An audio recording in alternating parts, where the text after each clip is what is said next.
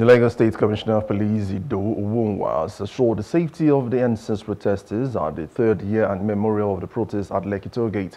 He stated that the situation has been stable with only one or two groups participating in the procession.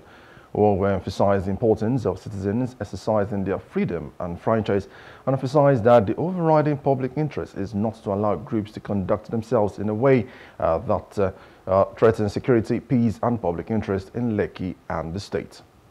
Uh, yes, we had uh, one or two uh, groups that came around to, on procession and uh, so far they've been working within our understanding of how it should be. And what is that understanding?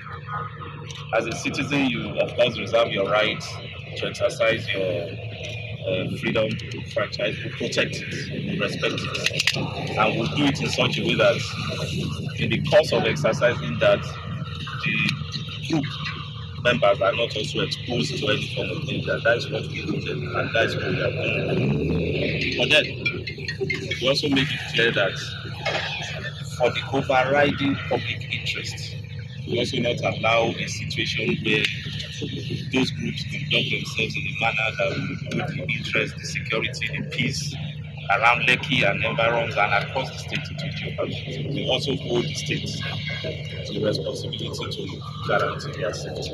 So we are trying to strike a balance as so far so Hello. Hope you enjoyed the news. Please do subscribe to our YouTube channel and don't forget to hit the notification button so you get notified about fresh news updates.